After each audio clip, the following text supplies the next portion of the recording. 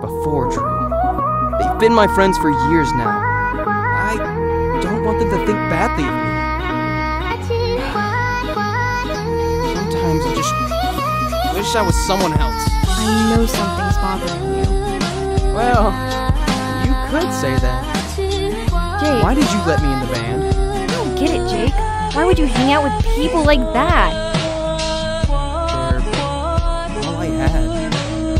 Back in middle school, I was the freak who would hum to himself down the corridors alone and get called names. People didn't like me, and I didn't fit in anywhere. So after everything me and the other guys have said and done to you, why did you let me join? And you really don't need me.